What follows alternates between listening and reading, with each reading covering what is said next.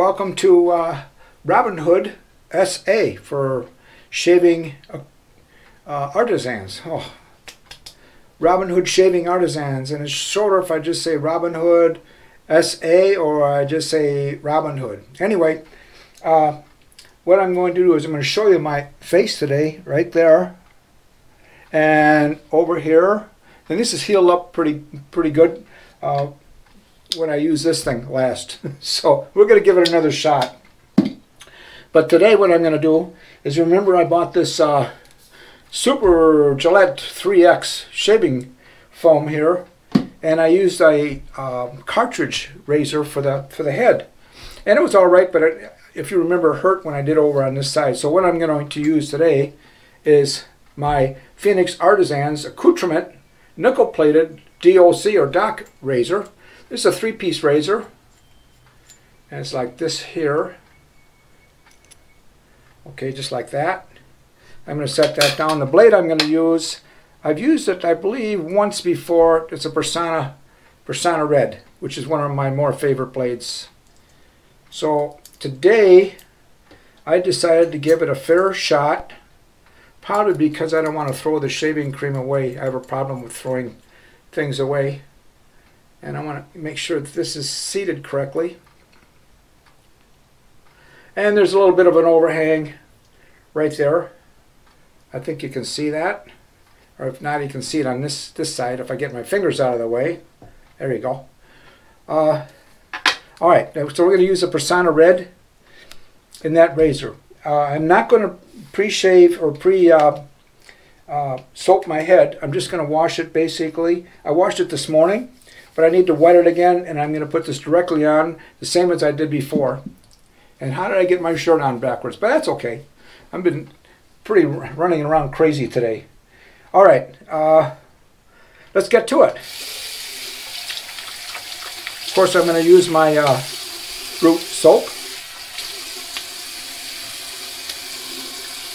And just to be fair to Gillette with their shaving foam, I wanted to use it this time with a double-edged razor. And we'll see how we do. All right. And I have my trusty mirror here so I can look behind me if I have to. And let's take this off. I'm going to spray some on my hand. I'm not going to use a brush. That's about what it looks like. Okay. And I'm going to put this on my head. I've been using this razor before just for my head only, shaving my head, and it, it does a real nice job. But I do not know how it's going to do with this this uh, shaving cream. So we're going to find out. And that way, if it doesn't work out, you don't waste your money. So what? How did you guys have a good day today? I hope so. Uh, what I did, what did I do today? Oh wow, look at that. Ah, okay, I uh, roasted, roasted, roasted some peppers. I uh, put in 185 pepper plants, Marconi's, Anaheim, some bell peppers last year, and I got hit with a disease. It wiped about 50% of them out. So what I had to do was, uh, you see, I've already done one harvest, and then I have to throw the plants out if they're diseased. But um, I put up about 30 jars, actually uh, 29 jars of peppers, half pints. And then uh, today I picked another, oh wow, it's hard to say. I'll probably get another 10 or 12 jars out of it. So let's see how this goes. I'm just going to go back.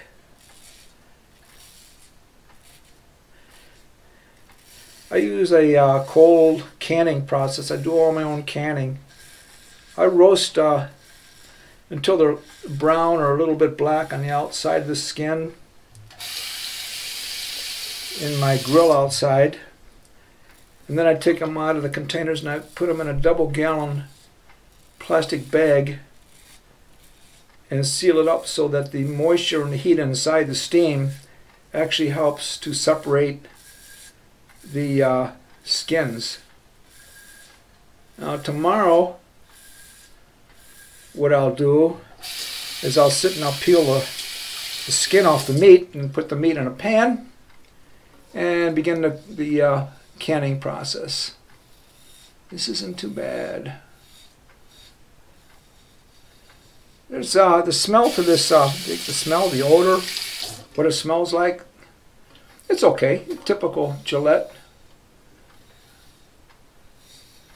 This is really, I love this razor for this. There was another razor that I saw the other day, Carbon, oh, I forgot what it is, but it's like oh, close to $300. And I said, gee, do I really want to put out 300 bucks with, gee, maybe it'll shave good for the head, on the head? Not at this point, I don't.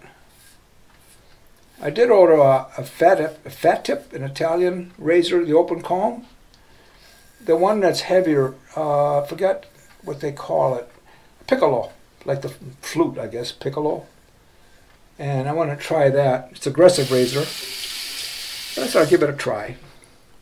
All right, let's do the back of the head now.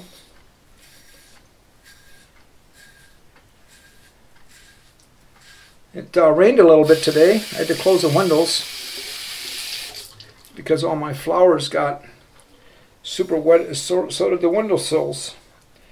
And I was thinking about getting some uh, white epoxy paint, sanding my windowsills down, and putting the white epoxy paint on it to see if that'll prevent uh, damage to the wood if they happen to get wet if I forget to close the uh, windows. All right, so far so good. This is what it looks like, but just you can hear me rinse it off a little bit.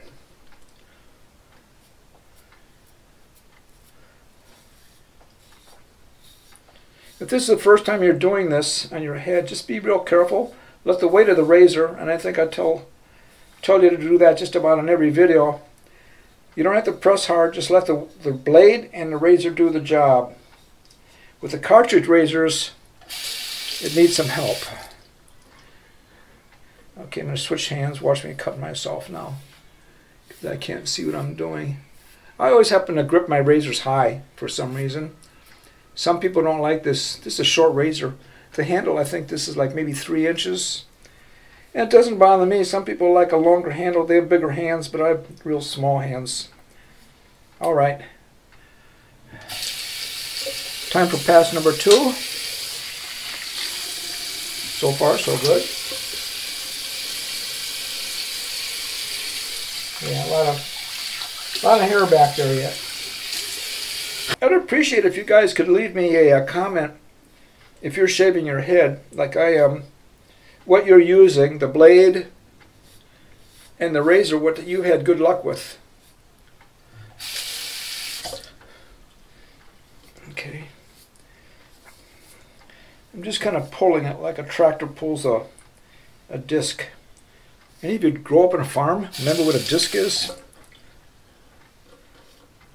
I grew up on a mink ranch when I was a kid and uh, gosh, until I was maybe 15 or 16, until I got out of high school. You know, would help. I washed it. Uh, if, if, you notice that, I don't know how many of you caught it. I just used the soap instead of the gel. so let me wash it again. We'll put more gel on it. I, was, I thought it was kind of uh, draggy a little bit. You guys didn't even catch that, did you? All right, let's give it a shot. Hey, it's late in the day. I've had a very busy day today. I wanted to get those peppers. If you don't, once you pick them, you got about a day, maximum of two days before you got to roast them or roast them. And I'll leave them overnight in those bags and let them steam and then we'll uh, can them. Usually I get, I, uh, let's see, last year I think I got four harvests out of them. This year I'll be lucky if I get two because that disease, and I don't know what it, what's causing it. Are we going to go against the grain? I did some research on it. What I found, what was happening is the peppers were healthy one day. The next day the leaves wilted even with fruit on it, and the next day the plant was dead. It was that fast. The little bit of reading I did, a research I did do on it, boy, my mouth is all tied up because I'm trying to concentrate what I'm doing here. It's some type of wilting disease virus. There's no cure for it. I did spray it with some uh, chemicals, but it didn't help. So obviously, the chemical I put on it to kill the bug wasn't the right one. But they say to, uh, but the only way you can do it is I'll get some plastic that painters use, big rolls of plastic, and I'm going to put it on the garden, and I have to fasten it down to the ground, clear plastic, not black, to let the sun go through. And what it does is heats the ground. Uh, depend, and depending where you live, it might go down four to six inches, heating the ground. The heat and uh,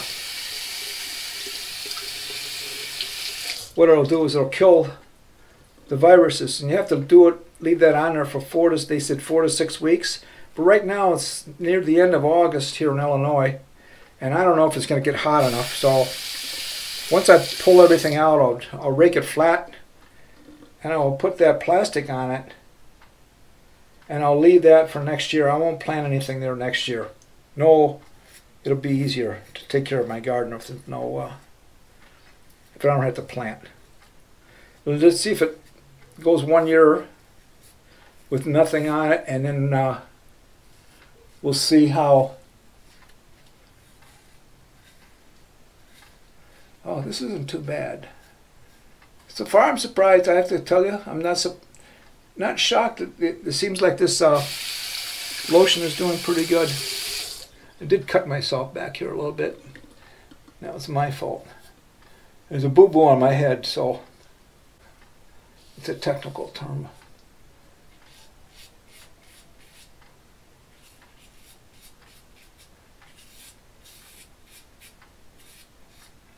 And I can feel it. I can feel it against the where I missed. I don't want to go over it too much. Just feel it and see where I'm at.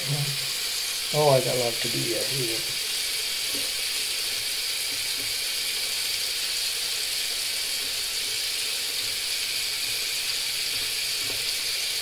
The other day, I put one of my white t-shirts on, you know, ones with a pocket. And I didn't think anything about it. And then somebody said, hey, uh, Bob, why do you have the pocket in the back? I put, it, put it on the wrong way. And nobody said anything except this one guy.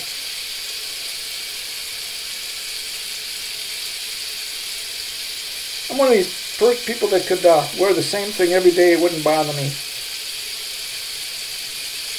You know, I have one fish and I feed them the same stuff every day. And I mention, gee, if he does that, eats, eats that uh, fish food, why can't I wear the same thing every day? Because I don't see the same people every day, they wouldn't know the difference. Okay, I'm going to make one more pass. Is it helping the looks of my face? Probably not. But that's okay. You'll get to that point too. I should show you a picture of what I looked like when I got out of medical school. Oh my God, what a good looking guy. He had a full head of hair. And uh, then as you get older, things kind of turn south on you and your body starts to uh, take a different avenue. And just to keep it looking halfway decent is it's like a full-time job. Well, it goes on easy enough without a brush, although I still like the brush. Okay, so far so good. I'm going to do another upstroke here. Very carefully. And I'm going to turn around in a minute and then you'll be able to see what I've done. This is a pretty good razor to shave with. I, I, was impressed. It looks, uh, because it's an open comb, it looks like it's just super dangerous, and it's really not.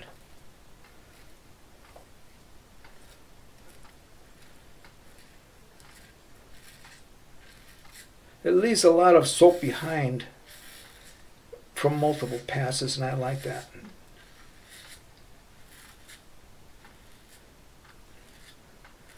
And this is when I'm trying to get a baby, baby ass, baby smooth shave on my head. This is usually where I'll nick myself. And you could be happy with this if you got to this point right here. All right, a little bit on the back, and then we'll wipe it off, and we'll take a look and see what it looks like. And we'll see what damage I did. Okay.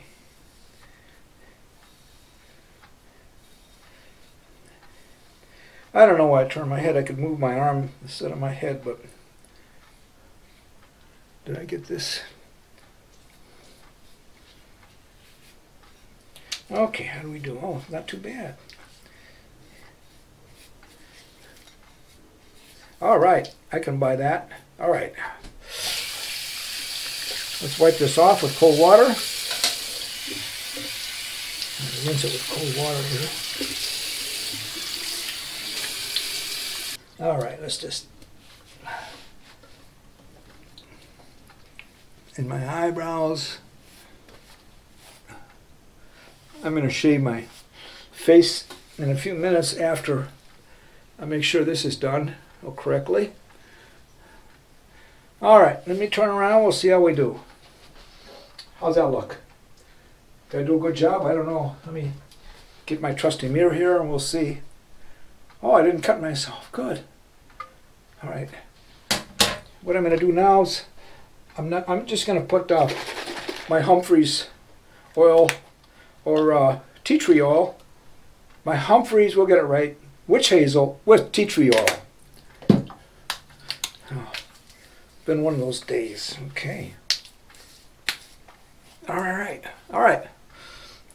If you want to know what this is, I had a set of earphones today. I was doing something on the computer, and I bought a new set of earphones headset, and uh, it's real stiff, and it went boing, and it hit me, and it that was two days ago, and it finally came out today. It looked like I was in a fight and won or lost or something. Anyway, let me go over this again. This time I used just a Gillette with no pre-shave. Uh, this Gillette foam, which I was surprised didn't do too bad. And I used my Phoenix Artisans accoutrement three-piece uh, nickel-plated DOC. It's about $35 roughly. Very nice razor for the head. Uh, what else did I use? And the blade I used was a Personna Red. And now I'm going to put some Arko, my favorite, to replace the moisture, make me look beautiful. Okay. Arko after shave. No, Arko uh, balm. We'll get it. Okay. I hope you enjoyed it. Hope you learned something. Try it. Try this razor. You're, I think you're going to really like it. If you have any questions, leave them down below. All the products I talked about today will be listed uh, down below. Uh, so if you want to try them, uh, it's up to you, okay?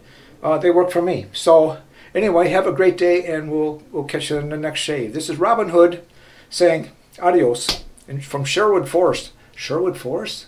Oh my God. I'm really getting, I need a drink or something. Talk to you later. Bye. See you next shave. Bye.